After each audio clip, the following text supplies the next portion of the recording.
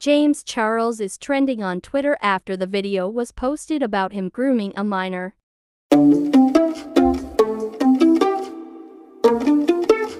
Okay, so trigger warning. I will be talking about grooming and James Charles. So if you get triggered by any of those, keep scrolling. But if not, watch this video, please. So last Wednesday on the 17th, uh, James Charles snapped me on Snapchat. He added me back because I had snapped him a while ago, just like a fan to influencer conversation. I was excited because he's my biggest influence, influencer wise, and he I've always looked up to him, so I was excited to get his message back. I don't have a lot of time, so I'm gonna post proof of it right now.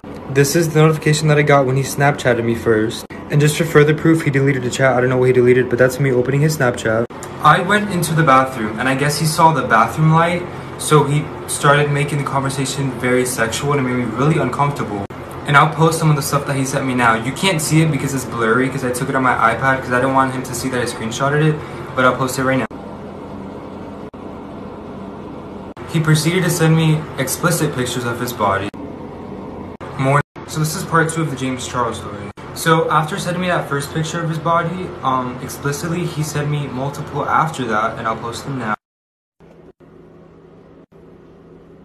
I was getting really uncomfortable, so I told him my age. I told him I'm 16. Meanwhile, he's 21. He's a grown man. And then he proceeds to say, oh, but I didn't even get to see the, yeah, meaning my body. And after telling him, like, no, like, I'm not gonna send it to you, he kept on asking for pictures and videos of body hair and me flexing and stuff. He proceeded to ask to FaceTime me, which I then said no to, and then I asked why. And this is what he said.